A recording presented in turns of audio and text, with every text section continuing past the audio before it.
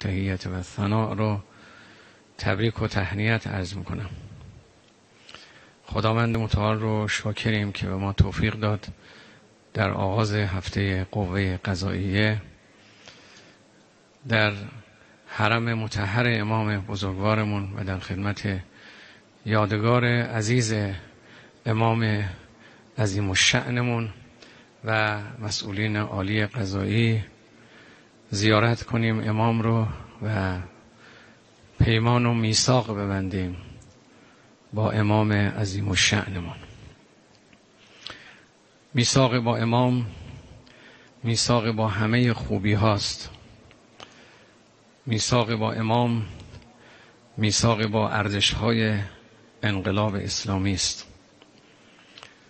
میثاق با امام کار کردن و تلاش کردن برای خداست.